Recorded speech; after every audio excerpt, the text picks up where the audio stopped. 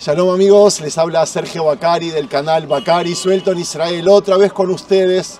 Y todo lo bueno siempre tiene un final. Y este es el video número 10 de una serie que estuvimos haciendo por Jerusalén con el guía de turismo David del Coso Westerman que yo recomiendo para su próxima visita en Israel para que contacten con él. Hicimos una serie de 10 videos que estuve publicando desde la semana anterior y este es el último. Este es el último. ¿Cómo vamos a terminar una serie tan pero tan linda? La gente que se acostumbró a verte a diario. Pues ¿Qué digo- mensaje queremos transmitir? Pues vamos como hemos hecho hasta ahora, nos ponemos a grabar y yo creo que lo que salga va a estar bien.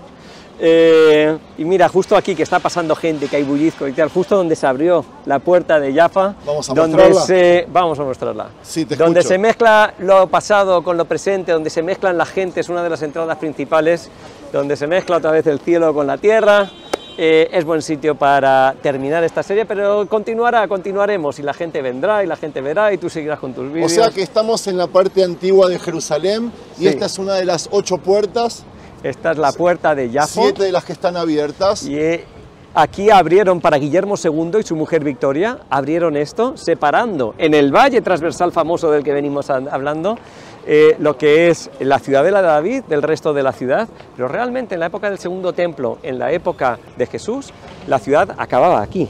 Y esto era, estamos fuera de la ciudad, ¿ok? Luego continúa por ahí un poco raro. Quizá vamos a enseñar una cosita que la gente no sabe, uno de los secretitos aquí de Jerusalén. Y hemos estado hablando de cómo eh, el templo fue destruido eh, en el año 70, Ajá. eh, cómo Jerusalén fue arrasada, cómo se llevaron el candelabro y cómo el candelabro se convirtió en símbolo y se lo llevaron a Roma. ¿Y quiénes fueron los que hicieron eso? ¿Quiénes destruyeron eso? La legión más importante, la que trajo Vespasiano y luego continuó, continuó su hijo eh, Tito, dejó aquí su campamento y su centro de operaciones durante, hasta, hasta el siglo IV, hasta los años 300 más o menos con ¿A Diocletiano dónde me estás llevando? aquí debajo de un hotel famosísimo. Eh, vamos a entrar por aquí a ver cómo se recicla la historia, ¿no? Cómo se vuelven a usar piedras antiguas para hacer otras cosas. Y aquí vemos un poste, ¿no? Una farola, una menorá, una menara en árabe. Sí. Y vamos a ver lo que pone debajo. Ahora ya no nos dejan entrar, han puesto este... Sí que podemos entrar. Vamos a entrar.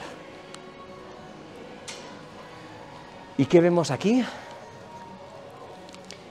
Leg X FR, Legión décima Fretensis. Estos son esos desgraciados, ¿vale? Esos romanos Sí. que se llevaron el candelabro y se llevaron aquí no solo el candelabro, se llevaron de aquí miles de esclavos y no solo eso, sino que, Alan, no solo se llevaron miles de esclavos, sino que aniquilaron a muchísimo de la población local. Y digamos que eso es el final del reino de Judá. Durante dos mil años, Masada aguantó tres años más, Herodión aguantó un año más, pero eh, eso no es el final de la historia. Por supuesto que no estamos aquí filmando como no buenos judíos en Israel. Eh, el espíritu no, no lograron eh, vencer, no, no- no- no lograron destruir. Eh, una de las cosas, ya que tú me muestras una perlita, a mí también me encantan las perlas que, que tiene eh, Jerusalén. Cuando vinieron acá los británicos después de la Primera Guerra Mundial, decidieron ponerle nombre a las calles Sí. y llamarlas, empezar a poner orden en- en este lugar. Sí. Y con la cerámica de Jerusalén La Armenia, escribieron el, el- el- la de Armenia, exacto, que todavía existen las tiendas, escribieron el nombre en inglés y en árabe. Exacto. O sea, al principio ellos eh, eh, que- que querían que la gente entienda. El, el nombre en hebreo no, no, no, lo había- no lo pusieron, el hebreo era un idioma que recién nacía y, y además los árabes querían mostrar que tenían superioridad, entonces estaban los árabes arriba y los británicos debajo, pero en el año 67 cuando Israel libera Jerusalén, no destruye lo que hay debajo. No, lo respeta. le agrega con la misma cerámica Exacto. el nombre en hebreo y así cuando nosotros queremos saber quién tiene soberanía en Jerusalén, ve el nombre de las calles y el que está arriba es el soberano. Miren, La- en este vídeo se me olvidó comentar algo, Sí. y es que ese Adriano es español, como yo, pero un desgraciado. Bueno, fue muy buen para, para los historiadores, lo quieren mucho, pero fue el que arrasó después de la revuelta de Bar Kokhba, arrasa con, que- con la rebelión y que ya sí aniquila y prohíben a los judíos entrar y todo eso. Ese Adriano le cambia el nombre a Jerusalén a Elia Capitolina, por los dioses del Capitolio. Y fueron los bizantinos, los, los- los cristianos bizantinos que venían buscando los lugares santos bíblicos, que no querían, no buscaban Alia Capitolina, buscaban la Jerusalén de Jesús, la Jerusalén bíblica, las que hicieron que se haya mantenido hasta hoy Jerusalén, haya vuelto a llamarse Jerusalén. Eh, aunque Palestina ha seguido llamándose Palestina. Eh, vamos para allá. ¿Para Sí. dónde? Eh, vamos a ver un poquito, perdón, la ciudadela desde aquí, desde que hay muy buena vista. Como hemos estado dedicando esta serie a la Torre David y a la ciudadela David, desde aquí, desde el valle de Geben Hinnom, de la Gehenna, del infierno, del hijo de Hinnom, vemos muy bien lo que es la ciudadela, la nueva, la última Torre de David, que es el minarete, que acaba de ser restaurado la muralla que continúa para atrás hacia el monte Sión, hacia lo que es la dormición y el cenáculo, eso sería el palacio de Herodes. Eh, continúa la misma muralla y se ven restos de la época del segundo templo. Y ahora, pues fíjate, hablamos de una Jerusalén que tenía cuando la conquista de David mil habitantes, Exacto. que en la época que viene aquí Mark Twain tenía 14.000 habitantes. Exacto. Hoy en día tiene un millón de habitantes, que en este país de 9 millones de habitantes es muchísimo. A lo mejor en Estados Unidos un millón de habitantes o en México no es nada. Exacto. Pero mirar el bullicio, mirar la vida. Hemos visto fotos, hemos visto vídeos, hemos visto eh, en la maqueta que fuera de Jerusalén no había nada más que piedras. ¿Y qué ves ahora? Ves verde, ves edificios, ves museos, ves bibliotecas, ves eh, sinagogas, ves iglesias, ves mezquitas. Hoteles, Es- turismo. hoteles, un, un- un, eh, centro comercial aquí en Mamila, ¿no? por el que habrás pasado varias veces en tus vídeos, Pero tiene ¿sabes- vida. ¿Sabes lo, lo más importante, por lo menos para mí, que se ve? ¿El Que qué? se ven iglesias, que Mm. se ven mezquitas, Sí. que se ven sinagogas. Me- ¡Wow! ¡Cuántas palomas! Sí. Se ve tolerancia, eh, se ve respeto, se ve libertad de culto, cosas que eh, Jerusalén en todos sus años de vida, en todos sus siglos, sus milenios, muy pocas veces tuvo tanta libertad. Cualquier persona del mundo puede venir hoy a visitar, practicar su culto. Maratón también. Maratón, Y mañana tenemos maratón. Sí. Que, me- Eh, que no, que digo, ¿por qué no se van al desierto a hacer maratón en vez de cortar en la ciudad? Pero bueno, también tienen derecho una vez al año. La maratón. está relacionada con la Biblia, ¿sabes? Con Los ¿sí? 42 kilómetros Sí. son los que se corrían para cada vez que comenzaba el mes, los jodes. Ah. Se corrían, antes se- hacían fogatas al principio. La Después- primera en el Monte de los Olivos. Sí. Después eh, los, los paganos empezaron a hacer fogatas para confundir a los judíos. Entonces empezó a correr, Ah, no, a no pasar el mensaje eso. corriendo y lo máximo que se corría eran 42 kilómetros. Wow. Y el nombre maratón, no, el nombre maratón es un nombre griego de alguien que murió. eh, Que, que vino trayendo las noticias Exacto, pero de los- una batalla famosa. Parecido a aquel que vino a David, ¿no? Eh, sí, a decirle el que Saúl. mensajero que mató O los que vinieron a decirle a Elí ¿Cuánto en? Shiloh que Sí. habían caído sus hijos. cuánto hablamos de Jerusalén, cuánto lo vimos en maquetas y esto lo que estamos haciendo es caminar en vivo y en directo, en persona. Sí. Tanta pero tanta historia caminó por aquí, transitó por aquí. Yo creo que hasta ahora este es el video que más me emocionó de todos los que hicimos. Es ver el resultado de tanta lucha, de tanta destrucción, de tantas conquistas. Mira, una persona árabe acá hablando Sí. con el celular Oh. libremente, al lado de una persona ortodoxa judía, esta que Sí. está acá, mujer, Sí. en, en- en faldas. Quién sabe que esta, esta gente que viene acá es cristiana, drusa, musulmana, Atea, o sea, lo que todos los que quieran, mientras no molestes al resto, puedes venir aquí cuando quieras, como quieras. Y Acá que- están las tres palmeras que quiero que le cuentes a la gente lo que me contaste antes, puede ser. claro. Otra perlita. Pues mira, como hemos empezado ahí con el tema de la Legión décima, aquí hay otro resto de la Legión décima porque se pasan aquí 300 o 230 años con su gran campamento aquí y puedes encontrar reciclado en la historia, incluso en los muros que pone aquí Suleimán el Magnífico hace 500 años. Puedes encontrar, yo siempre me guío por estas tres palmeras, ¿ok? Para Ok. la gente que está viendo este vídeo, es muy difícil. Puedes encontrar aquí enfrente, delante de las tres palmeras, vamos a ver, aquí, ven el láser, ven una X, aquí abre una L, aquí hay una F y aquí hay una R. Está tumbado, ¿ok? Está mirando para allá, la parte de arriba sería para aquí, aquí hay una F, aquí hay una R y aquí una X, Legión décima fretensis. Otros que han dejado de ser en la historia, que trajeron destrucción y muerte y esclavitud al pueblo de Israel y que ya no están. y nosotros aquí estamos y hemos vuelto. Y como te dijo esa chica que vimos en el vídeo de ayer, cuando pasamos que te ha reconocido de Argentina, Sí. que dijo, dijo, Am Israel High. Am Israel High.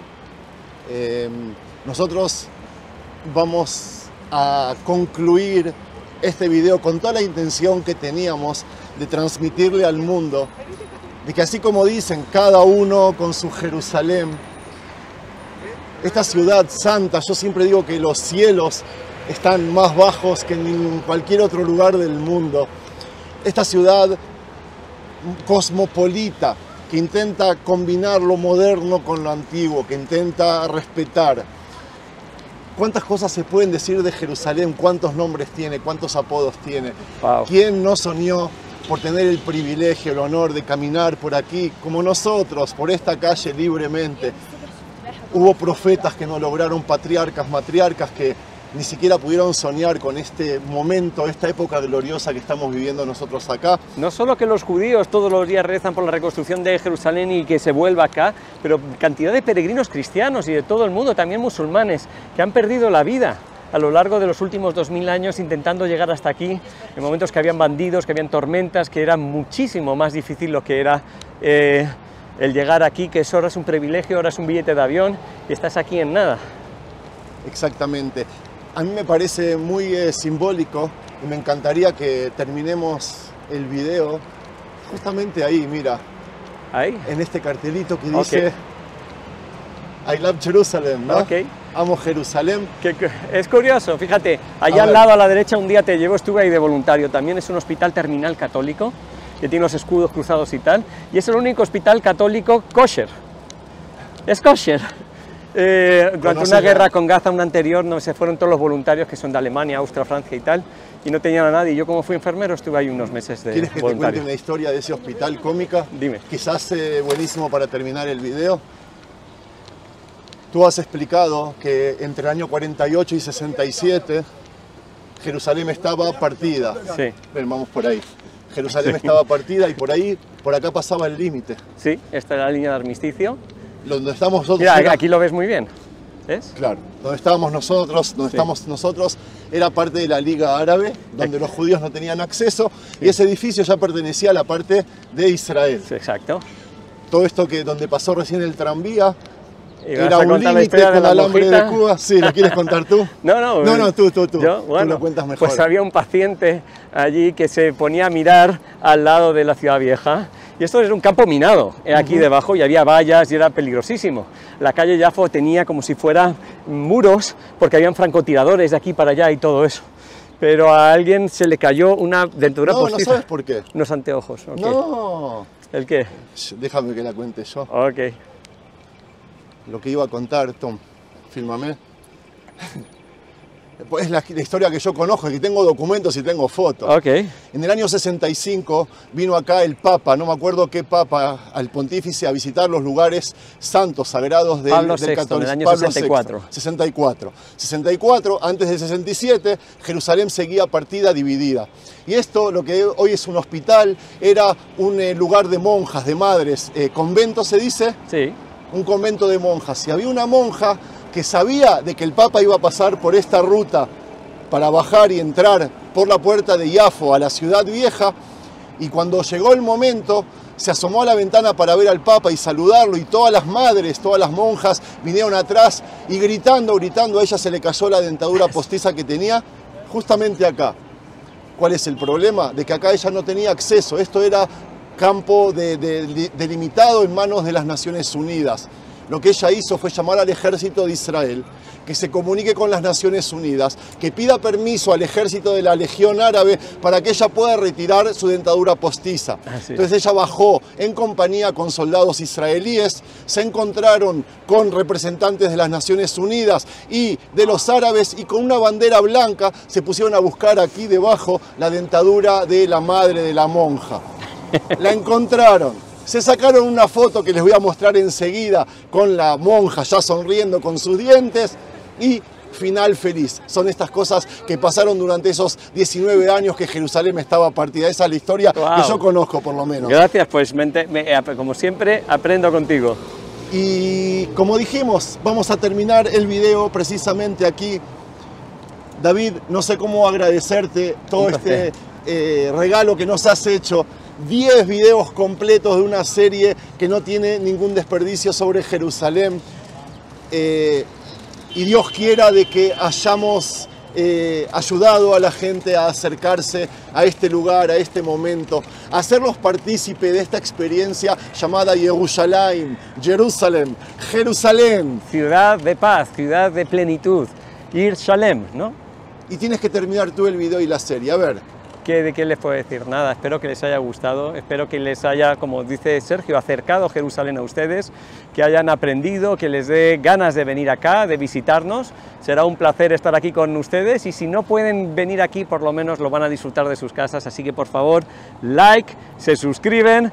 Miren, hay 1500 vídeos de Sergio Bacari, por favor compártanlos con sus amigos y eh, les de- desde aquí les mandamos bendiciones desde la ciudad de la paz, desde Jerusalén y todo lo mejor. Amén. Shalom. Shalom. Di, di chau. Chao.